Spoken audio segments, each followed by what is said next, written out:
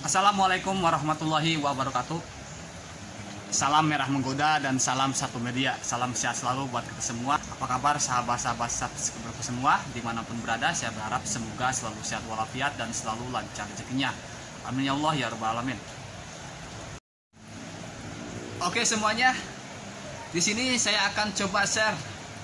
Kali ini bukan cacing sutra ya dan juga bukan kutu air, melainkan saya akan coba untuk memperlihatkan yaitu mengenai jentik nyamuk yang hasil kulturnya itu ya dari ampas kopi. Nah, itu yang uniknya tuh di situ.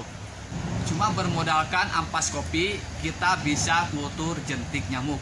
Dan jentik nyamuk ini sahabat-sahabat semua sudah pada tahu ya, kita bisa dimanfaatkan untuk pakan alami bibit ikan, terutama ikan hias ya, apalagi para breeder-breeder ikan cupang yang katanya jentik nyamuk ini dimanfaatkan untuk indukan ikan cupang sebelum dipijahkan. Oke, dan mudah-mudahan video ini bisa memberikan manfaat juga buat kita semua ya, terutama para pecinta ikan hias. Bagi sahabat-sahabat semua yang memang tidak ada maksud untuk ternak jentik nyamuk, jangan dulu ternak ya, terkecuali ada maksud untuk kita manfaatkan sebagai pakan bibit ikan hias.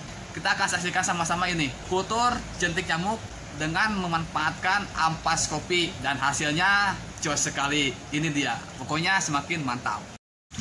Oke, ini dia jentik nyamuk yang kulturnya tuh dari ampas kopi ya. Coba diperhatikan tuh. Oh.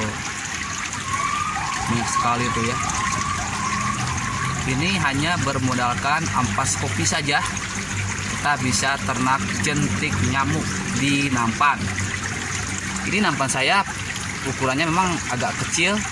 Sekitar berapa tuh? 30 kali 40 cm dengan ketinggian 15 cm dan airnya itu cuma 7 cm oke saya akan coba perlihatkan buat sahabat-sahabat semua nih. Ini hasilnya ya.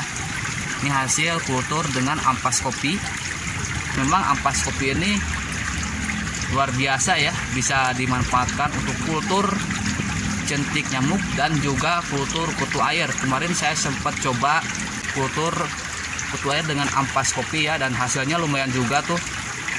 Cuman dari warna agak beda warnanya warna kutu airnya agak kecoklatan.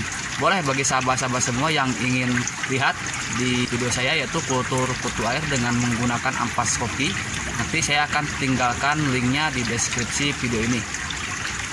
Oke coba perhatikan kembali nih. Waduh.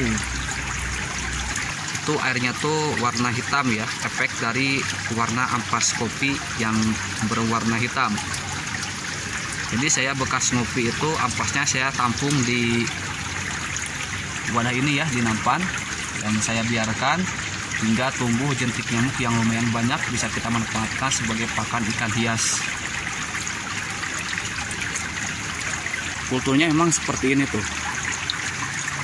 Tapi bagi sahabat-sahabat semua yang memang tidak ada maksud jangan kultur jentik nyamuk ya. Terkecuali kita ada maksud jentik nyamuk ini kita manfaatkan buat pakan ikan pokoknya jos sekali. Jentiknya sangat banyak sekali tuh.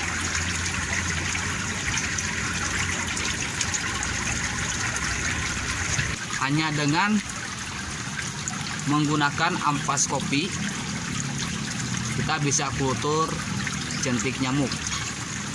Semoga video ini bisa memberikan manfaat buat kita semua khususnya bagi para pecinta ikan hias ya yang memang jentik nyamuk ini bisa dimanfaatkan untuk pakan alami ikan hias.